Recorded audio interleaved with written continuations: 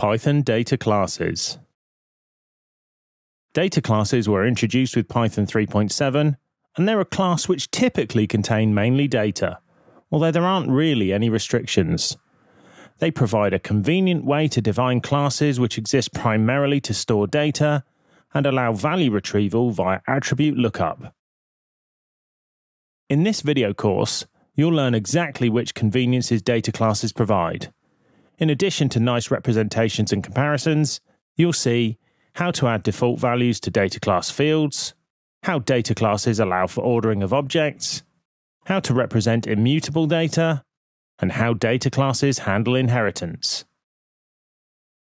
So, with no further ado, let's take a look at a comparison between using a data class and a standard class for storing data. Comparison to standard classes. The code in this course was run using Python 3.9, but any version from 3.7 onwards should run it. The code is seen running with the BPython REPL, which offers an enhanced way to work directly with Python code, offering color coding and command completion. Data classes are created using the data class decorator, as seen on screen.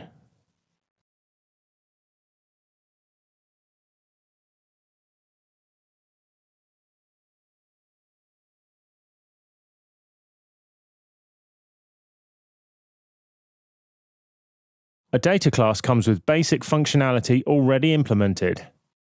For instance, you can instantiate, print, and compare data class instances straight out of the box.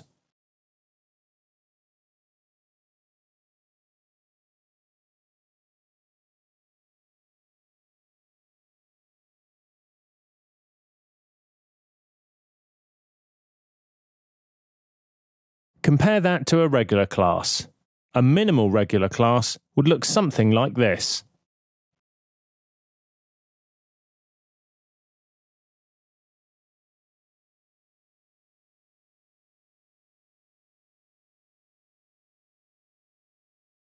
While this isn't much more code to write, you can already see signs of the boilerplate pain.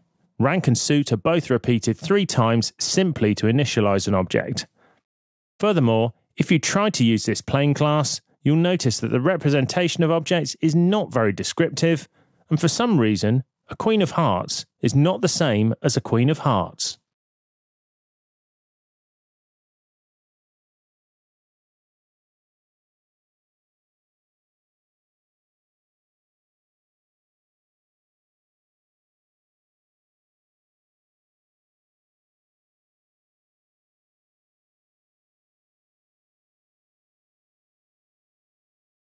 Looking at this behavior, it seems as if data classes are helping us out behind the scenes.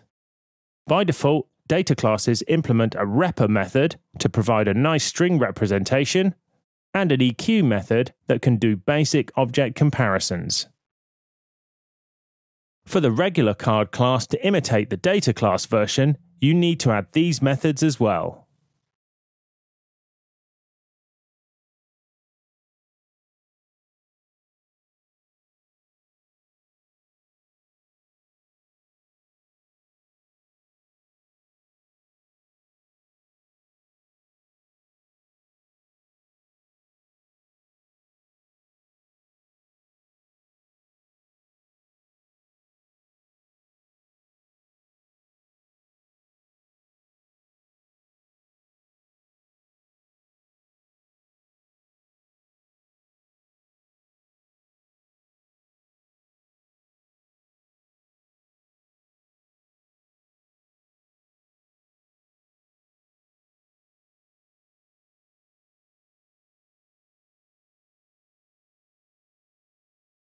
As you can see, this means extra work needs to be done to allow regular classes to give you what data classes do by default.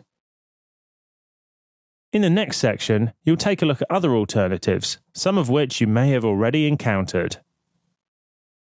Alternatives to data classes. For simple data structures, you've probably already used a tuple or a dictionary. You could represent the Queen of Hearts card in either of the following ways.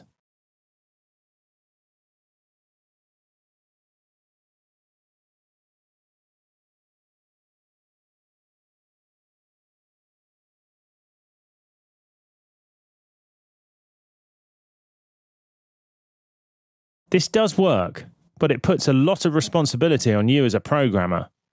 You need to remember that the Queen of Hearts variable represents a card. For the tuple version, you need to remember the order of attributes. Writing spades A will mess up your program, but probably not give you an easily understandable error message. If you use the dict version, you must make sure the names of the attributes are consistent. The example shown on screen would not work as expected. Furthermore, using these structures is not ideal. The tuple does not give us named access, and the dict version doesn't give named attribute lookup.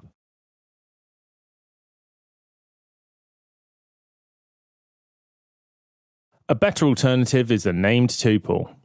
It's long been used to create readable small data structures, and you can in fact recreate the data class example already seen using a name tuple as seen on screen.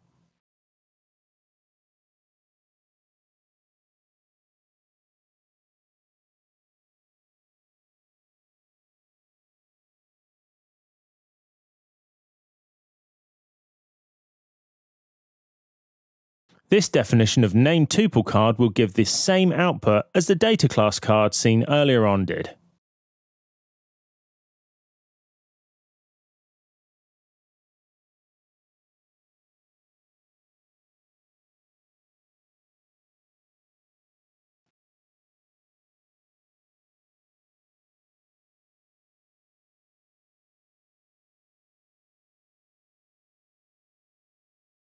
So why even bother with data classes? First of all, data classes come with many more features than you've seen already. At the same time, the name tuple has some other features that are not necessarily desirable. By design, a name tuple is a regular tuple, which can be illustrated by this comparison seen on screen.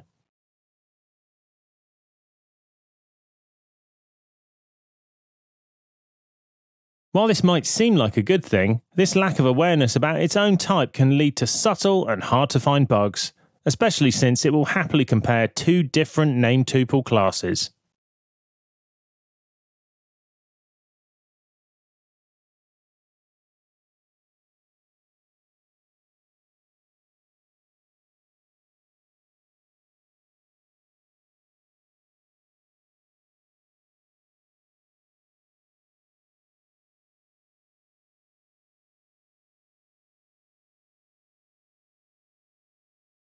Name tuples also come with some restrictions.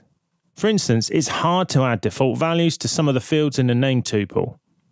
A name tuple is also by nature immutable, i.e., the value of a name tuple can never change. In some applications, this is an awesome feature, but in other settings, it would be nice to have more flexibility.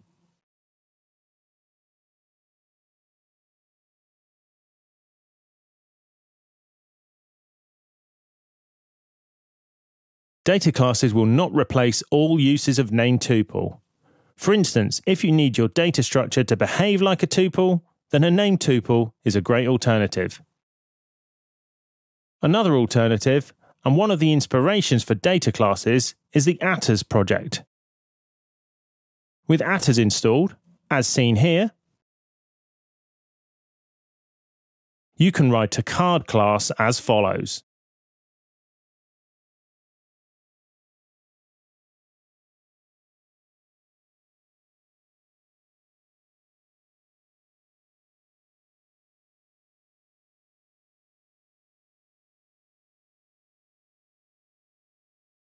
This can be used in exactly the same way as data class card and name tuple card examples seen earlier on.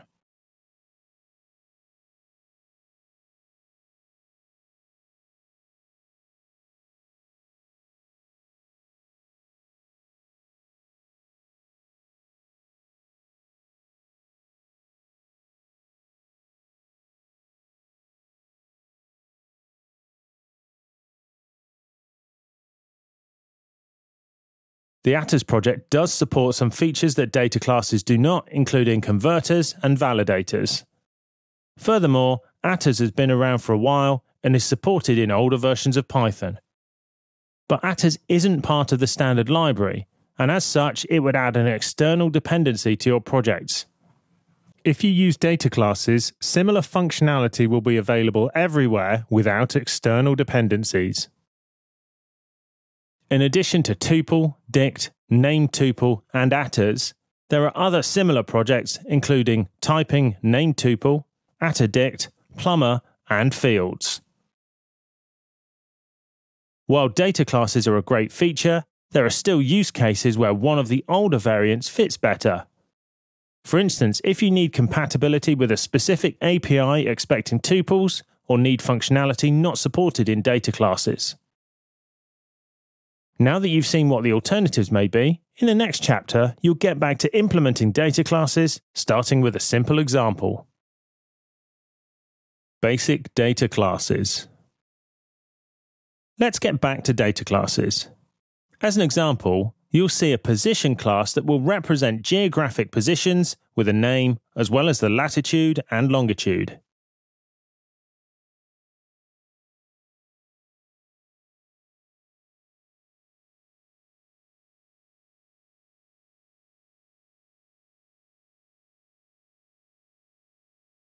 What makes this a data class is the data class decorator just above the class definition. Beneath the class position line, you simply list the fields you want in your data class. The colon notation used for the fields is a feature that was introduced in Python 3.6 called variable annotations. You'll soon see more about this notation and why we specify data types like string and float. Those few lines of code are all you need. The new class is ready for use.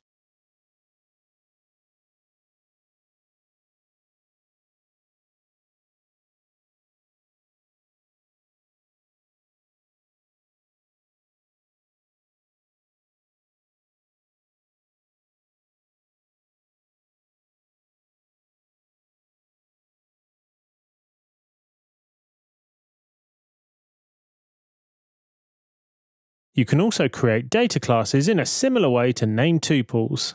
The following is almost equivalent to the definition of position you've just seen.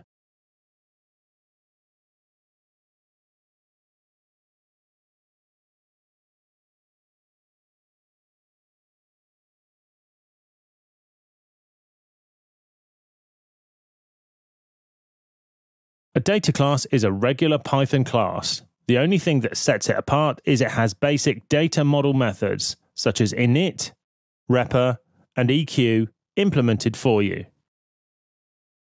It's easy to add default values to the fields of your data class.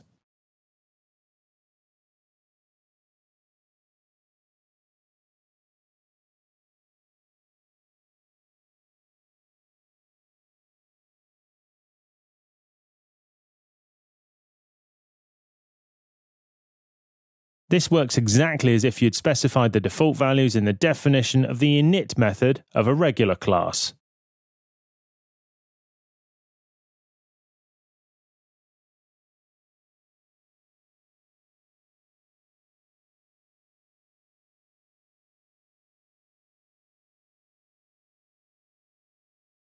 Later in the course, you'll learn about Default Factory, which gives a way to provide more complicated default values. So far, we've not made a big fuss of the fact that data classes support typing out of the box. You've probably noticed that we defined the fields with a type hint. Name string says that the name should be a text string. In fact, adding some kind of type hint is mandatory when defining the fields in your data class. Without a type hint, the field will not be part of the data class. However, if you don't want to add explicit types to your data class, use any from the typing module.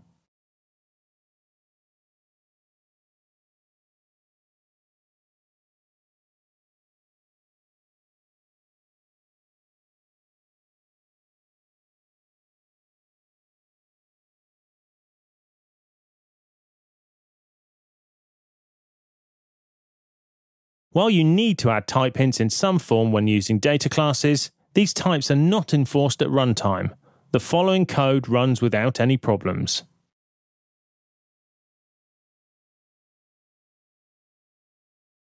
This is how typing in Python usually works. Python is and will always be a dynamically typed language. To actually catch type errors, type checkers like MyPy can be run on your source code. You already know that a data class is just a regular class. This means you can freely add any methods you want to that class. As an example, let us calculate the distance between one position and another along the Earth's surface. One way to do this is by using the Haversine formula, which is seen on screen. You can add a distance to method to your data class, just like you can with normal classes. And here you'll see the distance method being added to the position data class.